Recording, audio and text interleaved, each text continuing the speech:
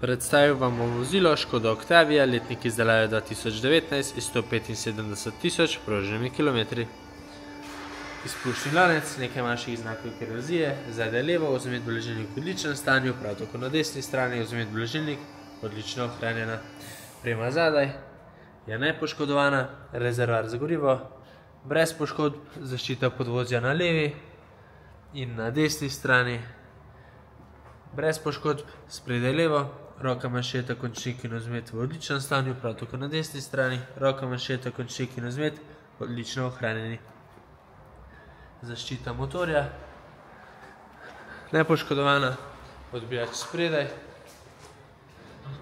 brez poškodb in brez prask, platišče spredaj levo, v odličnem stanju, pneumatika letnik izdelave 2022, 6,5 mm profila, prag na levi strani, je nepoškodovan, platišče zadaj levo, v odličnem stanju, nepoškodovana pneumatika letnik izdelave 2022, 5,7 mm profila, odbijač zadaj,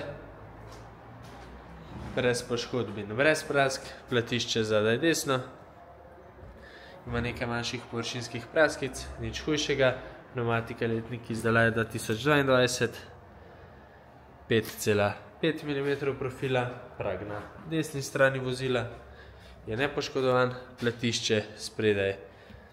Desno, nepoškodovana pneumatika letnik izdelave 2022, 6,4 mm profila.